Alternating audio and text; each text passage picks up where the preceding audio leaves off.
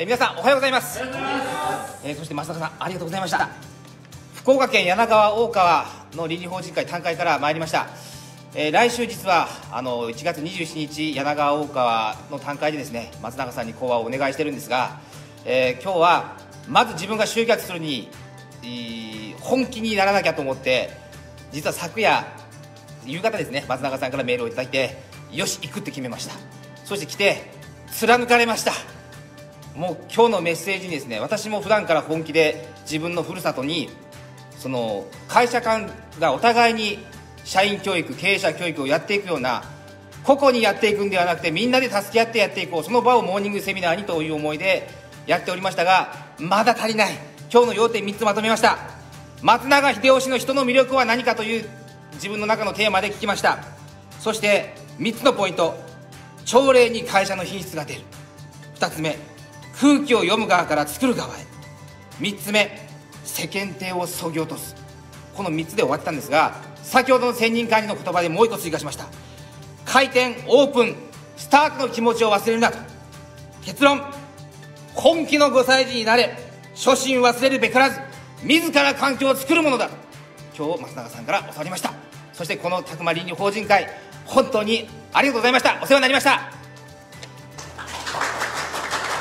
えー端的にまとめます、えー松永さんから今朝学んだことは本気の朝礼活力朝礼の本当の意味っていうのを今日教わったんですがそこで教わったのはですね朝礼に会社の品質が出る。でこれをちょっと例え話で言うと例えばケーキ屋さんでですね入社当初は 1g 単位でレシピ通りに作ってた。しかしだんだんと慣れてきてこのぐらいでいいかな大体このぐらいでいいかなってなってくるとレシピが100だとしたらそこに98点99点になってってその99点のまた99点だんだん乱れていて最後は50点ぐらいになると。するともう崩壊ですね。で本当にこの朝礼を徹底してやってるところはグラム単位でレシピ通り相手に合わせるレシピに合わせる。これがプロの仕事だと。挨拶一つ経営者の姿勢一つ本気でやってますかと。グラム単位で合わせてますかと。指先まで会長に合わせてますかと。そこで合わせれないような人が会社で社員に自分の姿勢を見せることなんかできないと。もうバリバリ響きました。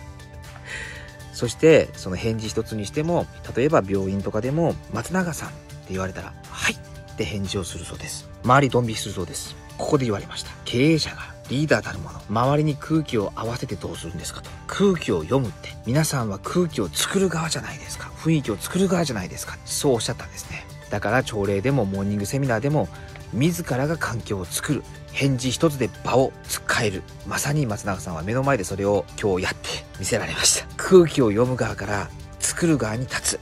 これが2点目3点目はですね世間体をそぎ落とす例え話で言うと5歳児。子供は一生懸命何かを頑張ってる子供の姿を見て空気読まない子供を見て大人は応援したくなります。しかし大人になるといろんな世間体を身にまとい空気を読みますよね。周りの環境に合わせて、まあそれも必要なことなのかもしれません。TPO ですね。時と場合によっては。ただ空気を作っていくかの人間に立つにはその世間体を削ぎ落としていく必要がある。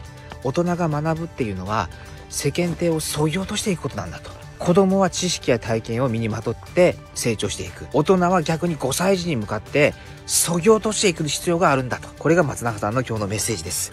この3点。そして会社を始めた企業当初の1人目のお客様に対する態度これを忘れるなと初心忘れるべからずこれが松永さんからいただいたメッセージです。